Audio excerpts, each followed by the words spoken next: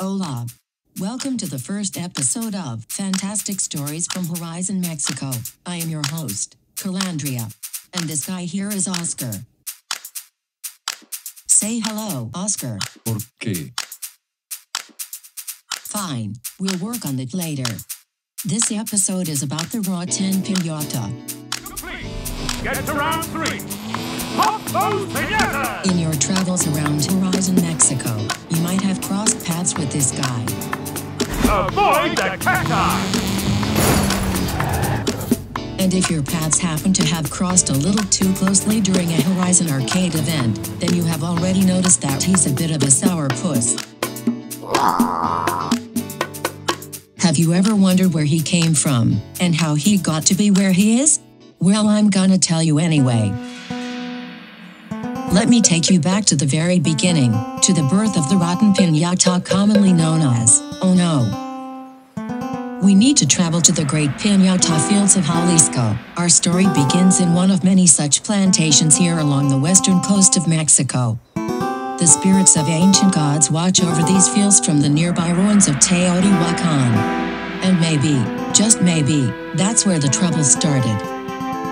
Pinatas are a delicate crop, sensitive to a wide variety of environmental factors. Mexican farmers use special open-side canopies like this one to shield their precious crops from harm. But such a simple canvas structure offered no protection from the dark forces at work on this day. It was the end of May. The days and nights had been hot and dry for weeks. Much hotter and much drier than anyone had ever recalled. The relentless sun baked the stones of the ancient temples and scorched the ground around them until it was parched and deeply cracked. But the weather was about to take a sudden and dramatic turn. Ominous storm clouds darkened the late afternoon sky as Pinata farmer Iago Rodriguez finished checking over his crops. Seeing the clouds gathering in the west, Iago made his way home early, hoping to avoid the storm. This one looked bad. In fact, it looked downright evil. You might say it was as if the ancient spirits of the temples themselves were about to be unleashed. Hola. Huh? Hola. Oh, I see. You decided that now would be the best time to greet our viewers. Hello. Oh, Um. you think you're so fancy, don't you? Well, let me tell you something. You won't be so fancy when you have a giant hole in your gut and your candy is flung all over the damn place, will you? I thought so. So simmer down. I had just gotten to the important part when you butted in with your poorly timed salutations.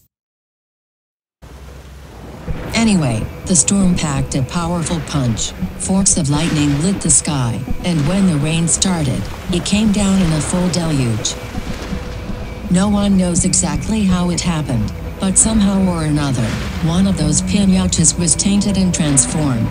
Perhaps it was enchanted by the spirit of the gods themselves. This dark turn of events was most unfortunate for the other pinatas in the immediate vicinity. When farmer Iago returned the next morning, he discovered a scene of devastation. The culprit had vacated the canopy, but it hadn't gone far. Ono scurried to the nearby home of one of Farmer Iago's neighbors. The rash of mischief and mayhem continued. Its path wasn't hard to follow. Ono left a trail of destruction along the way. But things really began to escalate when it cut through the brake lines of Lucero's trunk.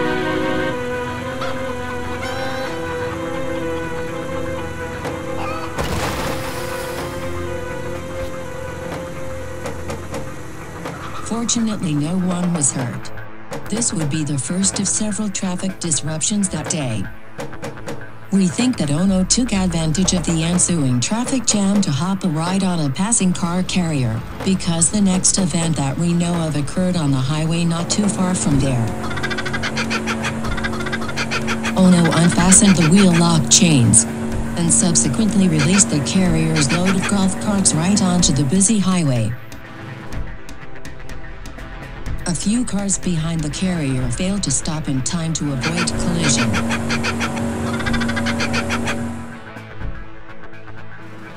The ensuing chaos caused a multiple car collision, halting traffic and causing a major traffic jam. And that's about where I come in. Hello.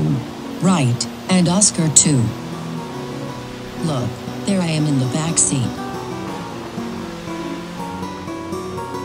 Hey Susanna, you look tired. Oh, yeah, that storm kept me up much of the night.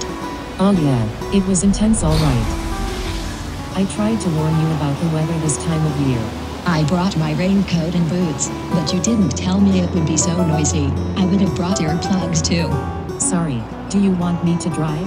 No, I'll be fine in a minute, as soon as the coffee kicks in. We can skip the scenic route and take the highway instead.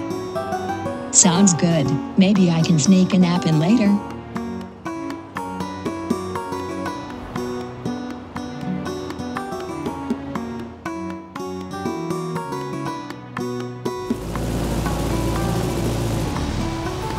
Oh no, what the heck is this all about?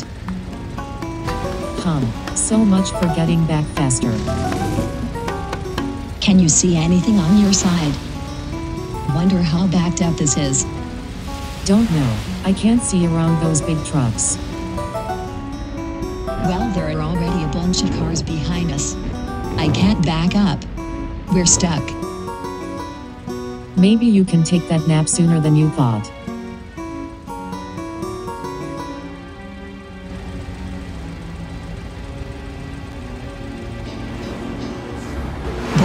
What a nightmare that was. And my caffeine buzz is wearing off. What sort of idiot transports golf carts and doesn't fasten them down?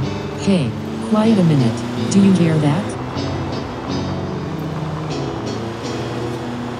Hear what? I don't hear anything funny. What does it sound like? It was like a sort of knocking sound. No, I didn't hear anything like that.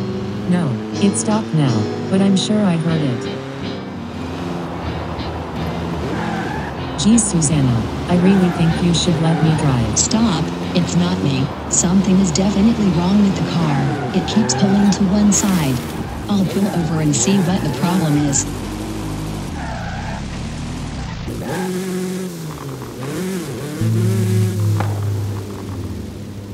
Well, I don't know what's up. The tires look good. Could be a bad wheel bearing, I suppose.